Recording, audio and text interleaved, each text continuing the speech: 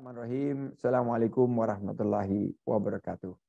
Alhamdulillah wa syukurillah wassalatu wassalamu ala rasulillah wa ala alihi wa sahbihi wa mawala wa la hawla wa la quwata illa billah. Amma ba'dah.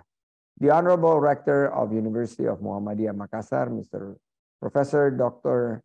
Haji Ambo Ase, MAG, Dean of Faculty of Economics and Business University of Muhammadiyah Makassar, uh, Dr. Haji Andi Jamaan, SEMSI.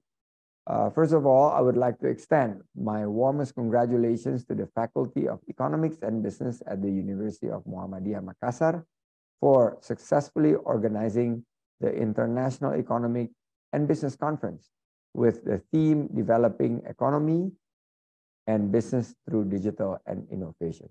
EWACO.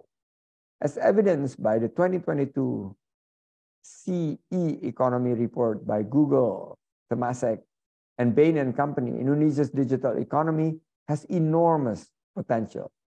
The report states that the digital economy currently contributes 77 billion US dollar, which is up 22% year on year to Indonesia's economic growth and is expected to increase by an additional 130 billion US dollars in 2025, with e-commerce serving as the main driver.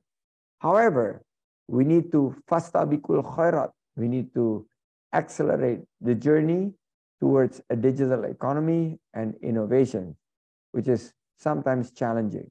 Many companies still face difficulties adapting to digital technology and furthermore, and furthermore, concerns about data privacy, and cybersecurity are on the rise and must be addressed in order to fully realize the potential of Indonesia's digital economy.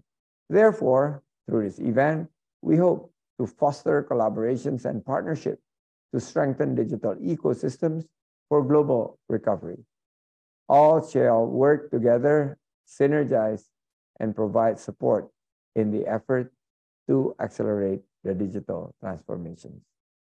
Nasrun min Allah wa fatun qarib wa basyiril mu'minin. Wassalamualaikum warahmatullahi wabarakatuh.